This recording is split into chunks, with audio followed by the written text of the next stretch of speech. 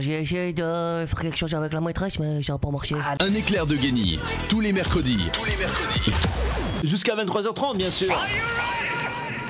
Bonsoir à tous, j'ai l'honneur de recevoir ce soir le plus sympathique des garçons que je connaisse, Titeuf. Salut Titeuf. Ouais, salut les pédophiles. Alors toi, c'est Maxime, parce que j'ai vu un Maxime à, ma- à ta droite, il y en a un Maxime de l'autre côté de la veille, il y a des Maximes partout aussi. partout, hein. ouais. Comment ça se passe pour toi actuellement T'as plein d'actualités Ouais, je vais bientôt serrer Nadia. Ah, enfin Alors justement, la question que tout le monde se pose, est-ce que tu as enfin trouvé une copine Nadia ou une autre?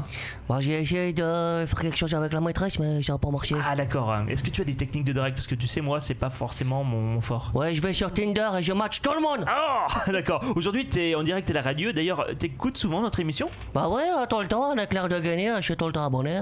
Ah super, et tu regardes un peu la télévision? Ouais, je regarde euh, mes dessins animés. Ah, oui, évidemment. Je suis Et- corporate. Ah bah il faut le faire. Euh, devenir animateur de radio et télé, ça t'intéresserait?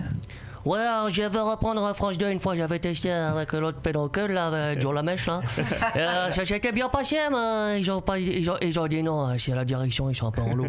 Et Enfin Titeuf, si je te proposais de lancer notre pause musicale et de dire à nos éditeurs qu'on revient avec un programme de folie, ça te dit euh Je suis beaucoup trop cher pour ça. Ah d'accord, très bien. Titeuf était avec nous, merci